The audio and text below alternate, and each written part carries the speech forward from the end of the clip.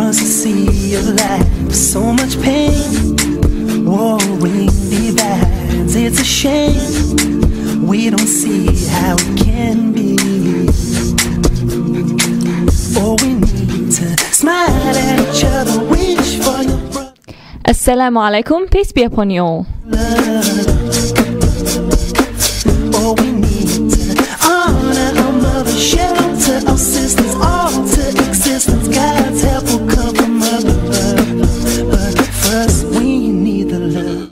Welcome to yet another show of The Y Factor. Today is April the 7th.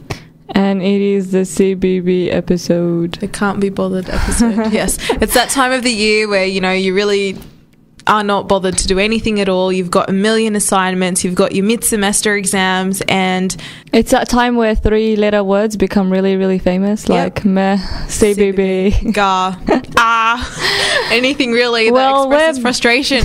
we're producing this show as a tool for procrastination, so I think, you know, we're helping you procrastinate if you're listening to us too. Yeah, and it makes us feel way better that while we're procrastinating and producing this show, you're procrastinating and listening to us instead of doing your work. So, since we're all doing nothing, let's get started on the news.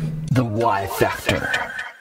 Our first news story today is from France. Now, France has the highest Muslim population in all of uh, Western Europe, uh, totaling 5 million people. And they've been in the news for the last couple of years because every now and then they introduce new laws which they reckon Are all about preserving secularism, but it's usually targeted at stopping women from wearing hijabs. Well, most recently, the law they've passed, which will come into force on April the 11th, is a law banning niqab, which basically hides a face, from being worn anywhere publicly. So even down the road, um, you know, outside the house, anywhere, if they do wear this, the law is going to come into effect on April the 11th, and it'll ban them from this. I don't know who this law would affect other than women who wear the niqab because like it doesn't actually say niqabs are banned it says any garment that hides the face is banned but it's not like you walk out the door with a balaclava on your face on a daily basis Well, the motivation for this has come from people who say basically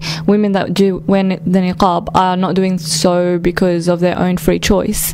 They're being forced by this uh, into this by male relatives, or even if it is their own choice, they're succumbing to like greater patriarchy or whatever.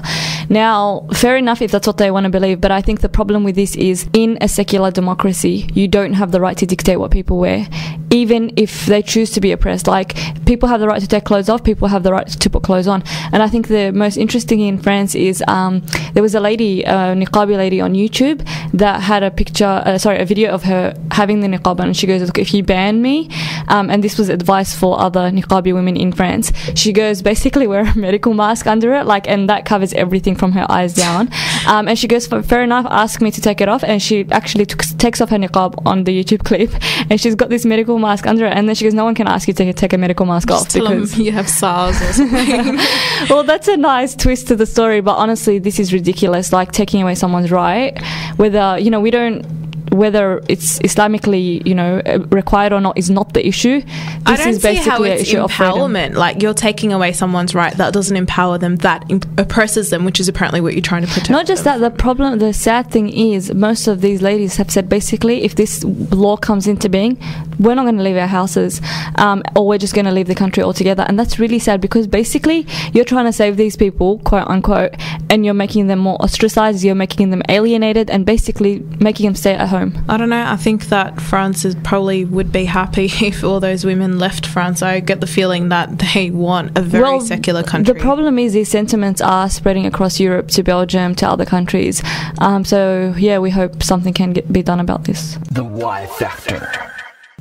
Another big story making the rounds this week is one of sexual predation in the Australian Defence Force, uh, based in Afghanistan. Basically, um, one of the the cadets filmed himself sleeping with a female cadet and basically streamed it live to the room next door where all his male friends were hanging out. And the actual female cadet was 18 years old. and she was very very traumatized so i mean there's been a lot of discussion about where does this leave women you know if you if, if you're a female who wants to join the australian defence force obviously you would be discouraged by all these tales and i mean there's heaps and heaps of stuff been coming out about these soldiers in, um, in the adf not just to do with you know the way they treat women but in general like lots of disgusting behavior i think it brings out inner barbarian when they go to war personally. I mean it's not a laughing matter but something seriously has to be done about this. You whether you agree that women should be in the defense force or not i think we all do agree that women should be protected from being the the subjects of sexual harassment in that manner. The Y Factor. Speaking of mothers and women, uh, a new study has shown that women who actually do go back to work after having kids are actually stigmatized. And a new survey conducted by careforkids.com.au has shown that up to 60% of working women were made to feel that basically they weren't taking their parenting seriously enough when they go back to work after having children. On the flip side of the coin, 40% of those who are actually stay at home mums have expressed the same feeling of stigmatization that's right, and negativity towards their decision to stay at home. Now, this is really interesting because we were speaking about feminism a couple of episodes ago and things like that.